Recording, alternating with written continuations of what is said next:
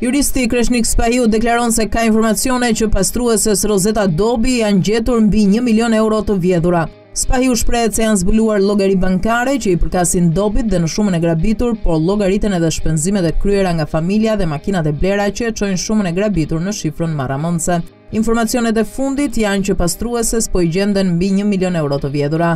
Aty përfshihen disa llogari bankare dhe llogariten edhe paratë e shpenzuara nga familja, sendet e blera si makina dhe llogaritet që shuma e vjedhur të shkojë në mbi një milion euro, deklaron ndër të tjera Spahiu.